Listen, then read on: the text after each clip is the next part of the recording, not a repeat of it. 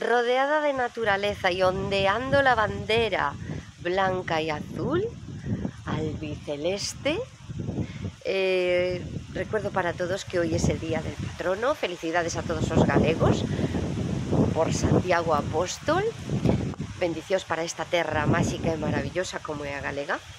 Bendiciones también y enhorabuena a todos los españoles por tener a este nuestro apóstol que indica que todos somos un pueblo de hermanos y que no debemos separarnos jamás.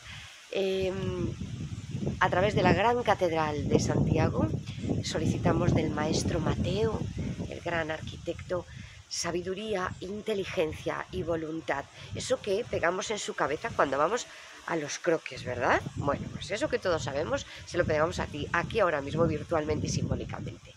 Y también dejadme, amigos, que hoy le pidamos al apóstol Santiago que también vele por ese pueblo hermano como es Venezuela y que este próximo domingo se va a encontrar con las urnas y que desea fervientemente que vuelva y pueda recuperar su voz, sus bienes y su libertad, esos tesoros tan preciados que nunca deben perderse, ese pueblo tan rico y que se ha convertido en una auténtica miseria en la que vivir.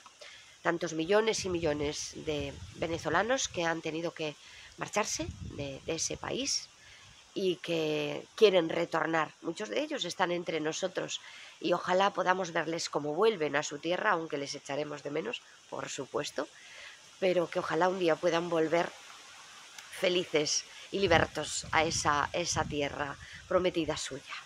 Bueno, desde aquí un cariño muy grande y recordar aquella poesía que había hecho mi padre antes de fallecer.